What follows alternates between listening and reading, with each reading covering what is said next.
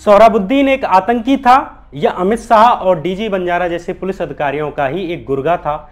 इसे समझने के लिए हमें सीबीआई की चार्जशीट से होकर गुजरना होगा, जो दावा करती है कि सोहराबुद्दीन दरअसल अमित शाह का ही आदमी था। अमित शाह अपने अधिकारियों को इशारा करते थे, अधिकारी सोहराबुद्दीन को इशारा करते थे, और सोहराबुद्दीन इन पुलिस अधिकारियों के इशारे पर गुजरात और राजस्थान के बॉर्डर एरिया में दहशत फैलाने का काम करता था। जिसके बदले बड़े बड़े बिजनेसमैन से पैसे वसूले जाते थे। सोहराबुद्दीन के एनकाउंटर के बाद गुजरात पुलिस ने कहानी गढ़ी कि उसे राजस्थान पुलिस से टिप मिली थी कि सोहराबुद्दीन लश्कर तैयबा और आईएसआई पर के इशारे पर नरेंद्र मोदी जी की हत्या की प्लानिंग कर रहा है।